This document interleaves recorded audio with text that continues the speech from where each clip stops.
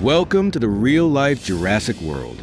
Imagine bringing back the most dangerous creatures ever to walk the earth. What could possibly go wrong? How could we even clone dinosaurs? What would life be like with them roaming around again? And which ones would see you as their next meal? First, let's talk about cloning. In movies like Jurassic Park, scientists find dinosaur DNA in a fossilized mosquito and recreate a prehistoric theme park. Spoiler alert, it doesn't end well.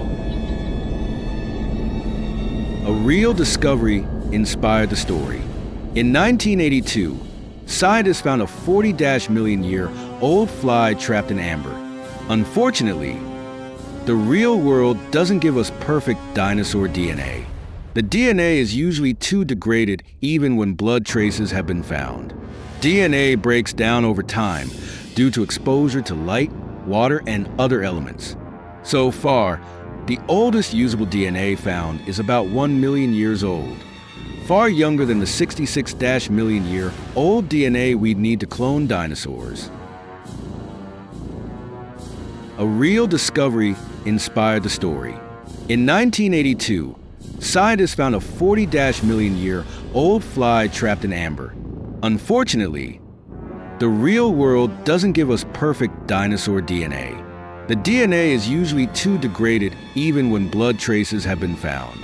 DNA breaks down over time due to exposure to light, water, and other elements. So far, the oldest usable DNA found is about 1 million years old, far younger than the 66 million year old DNA we'd need to clone dinosaurs. There are over 700 known species of dinosaurs. Some might coexist with us peacefully, while others would wreak havoc. Predators like the T, Rex and velociraptors would make venturing outdoors a terrifying experience. Livestock would become easy prey, and travel could turn dangerous with giant creatures crossing highways or interfering with air traffic. On the flip side, dinosaurs themselves would face challenges. Massive herbivores like sauropods might struggle to find enough food. Modern plants are different from what they ate millions of years ago, and their digestive systems wouldn't be adapted to handle today's grasses. Dinosaurs would also face a climate mismatch.